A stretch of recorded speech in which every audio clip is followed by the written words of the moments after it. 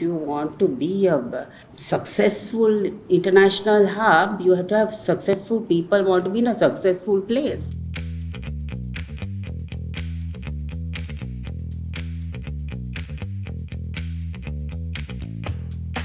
If you look at the successful financial hubs in the world, right? Like London, New York, um, Hong Kong, Singapore, or Dubai. Um, you will see that um, the country itself is doing well. I beg to differ that you cannot, it's difficult to ring fence because who is going to now come into this Port City financial hub when they know the precarious situation the country has got itself into? So ultimately, though you are trying to ring fence it, it's very much, much a part of that country. So currently, the regulation has to change based on the economy. Hmm. As you as you would say, we would we have now had to make it a closed economy and hmm. tighten the regulation by central bank because of the economic situation, right? So there is now, in order to be a hub, you can't have no trade.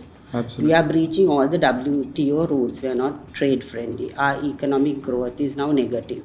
So, in terms of ICT and technology growth, now it's going to take a back seat because we don't have in uh, we don't have investment, innovation. All these things are features of a uh, financial hub. Absolutely. Uh, so currently, I would say it's virtually impossible because we've closed our trade windows. We, we can't uh, we can't import anything. We don't have uh, liquidity.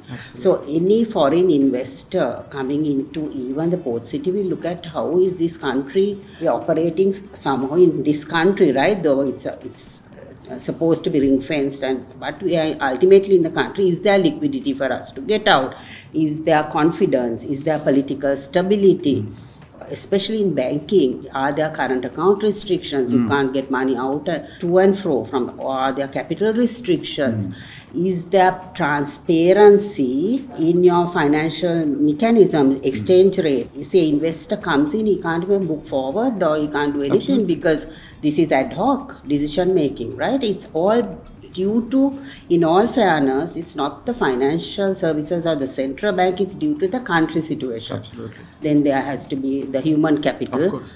as you mentioned the the flexibility of um, sort of uh, the labor, Labor. force and uh, the legal aspects of labor do we have diversity in labor. Do we have an international community? Because if you want to be an international hub you have to have international people. Absolutely. right? Yes. and if you want to be a successful international hub you have to have successful people want to be in a successful place